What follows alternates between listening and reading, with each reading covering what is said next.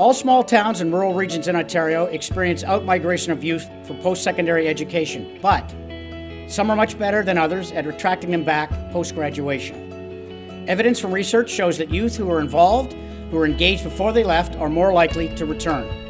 My name is Jantje Steenbeek and I'm from Bayfield, Ontario. It is easy at my age not to be involved, not to contribute to stay at home, but my short life of experience has shown me that in fact once ideas and experience are evaluated and given due process they deserve, the young individuals will want to get involved because they are taken serious and in turn they feel they are a valued member of the community as well. My name is Cora Wilcox um, and I'm going to tell you guys a little bit about myself. I'm 17 years old from Elliot Lake, which is a town of 9,000 people.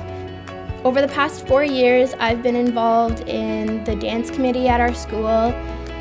We have a group called Student Senate.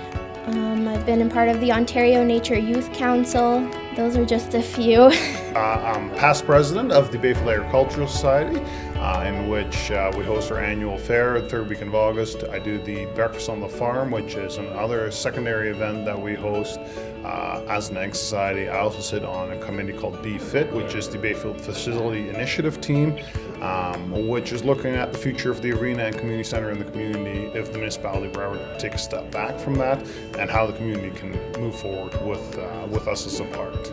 Community leaders can support that's like one of the biggest things is support.